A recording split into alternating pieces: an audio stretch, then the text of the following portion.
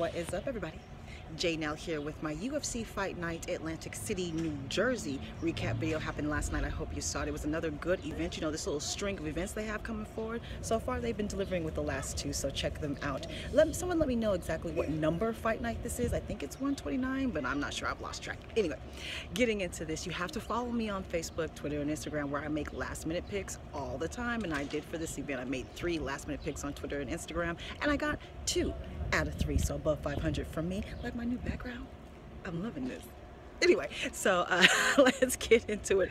First up, I did not make a pick on this one, but honorable mention for uh, Dan Hooker. He defeated uh, Jim Miller in the first round via a heck of a knee to the face. He didn't even have to jump for it. Knocked Jim Miller all the way out sleep. Haven't got a chance to do that in a while. And it, uh, it was Paul Felder who interviewed him in the octagon afterwards. He asked him, who would you like next? And he said, you know, I'm standing across from somebody who's ranked, who doesn't have an opponent. And Paul Felder was like, wow, I've been waiting for somebody to have the gall to call me out to my face. So let me know who you think Hooker should fight next. If it should be Felder or someone else, I do think he uh, gets should get a ranked opponent next. But again, I did not make a pick for that. That was just an honorable mention. Also, uh, Willis defeated Sherman in a three-round fight. Again, did not make picks for those. Now, on to the fights I did make picks for. The first one I did not get. I chose Thiago Santos to beat David Branch. He did not. I knew this, whoever started first would probably have the upper hand and this could end at any moment, and that was David Branch. In fact, the punch that connected, that started, it didn't even land that hard. It was just well placed. Knocked uh, um, uh, Santos down. A couple of shots later that probably weren't even needed. the ref stopped the fight.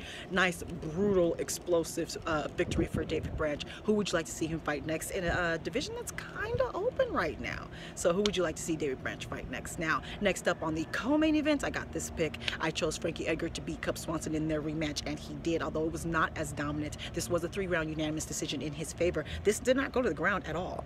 I was nervous the whole time. We were all wondering how Frankie was going to rebound after being KO'd for the first time by uh, Brian Ortega, and he rebounded well. I wanted a nice, safe victory. I wanted to take him down, ground and pound, mollywop him the way you did last time. This was not as dominant, but again, he did win. He just outworked him. You have to have a very high offensive output to beat Frankie Edgar, even if he's playing your game. Cub had his moments. There was moments where he connected, moments that made me nervous, but uh, Frankie just controlled the center of the octagon. He pushed the pace. He probably outlanded him on every single stat if you look at it from punches landed, significant punches landed, all of that. So he, he just won. It just wasn't as uh, uh, devastating as the first victory, but it was a nice, good, solid victory back from being KO'd for your first time. Um, so who would you like to see Frankie fight next? He says he wants his title shot back, and I'm actually actually inclined to say give it back to him. Look, he put it on the line when he didn't have to, to uh, uh, when Max Holloway went down.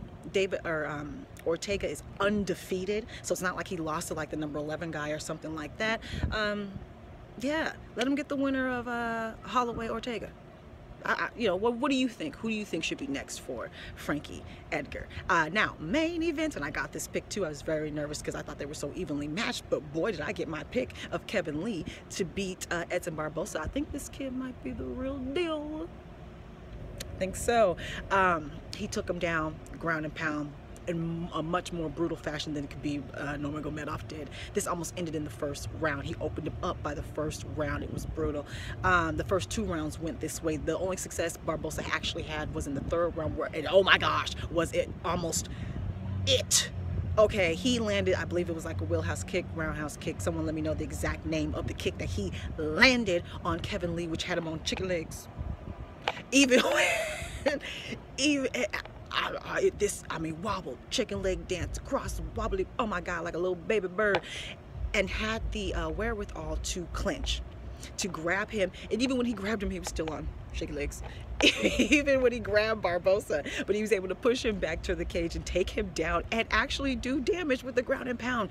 His mental toughness uh, through adversity in this fight was impressive.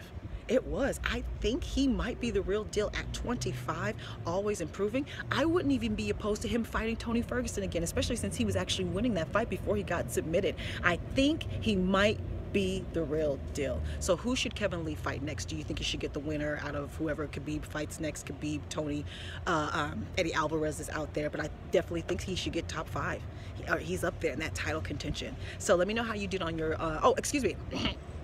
this fight ended in the fifth round. So the, the third round, is where uh, Ed uh, Barboza had his most success.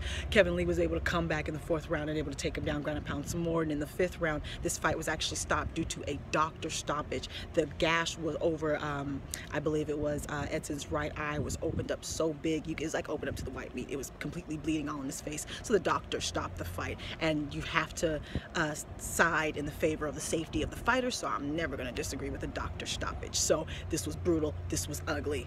Now, who would you like to see Kevin Lee, the Motown Phenom, fight next? Let me know how you did on all your picks, any injury updates, and uh, follow me on Facebook, Twitter, and Instagram where I do last minute picks all the time now. And uh, I'm on Snapchat now. Subscribe, like, talk to me, take care, and goodbye.